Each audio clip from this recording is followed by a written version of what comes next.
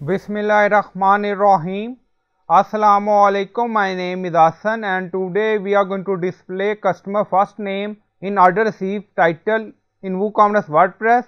Before starting work, it's my request please subscribe my channel. Thank you. Now back to our work. So we are in thank you page and we are going to display customer billing first name in order received title by using custom code now go to dashboard on left side you see plugin so click on add new plugin. Then in search plugin write wp code.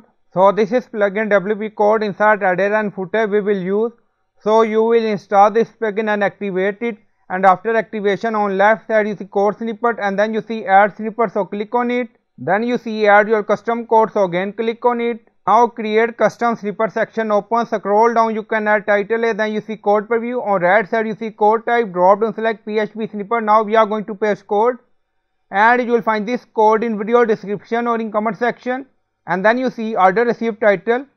So you can modify this title according to your requirement. And then you see percentage s so we are getting billing first name so scroll down you see insert method auto install location run everywhere on top you see inactive now active and then click on save snippet. Now snippet created and saved go to order receive page now refresh the page and then you see message custom message and then you see customer billing first name. So you can modify this message according to your requirement. So I hope you like this video please like comment share subscribe thank you for watching.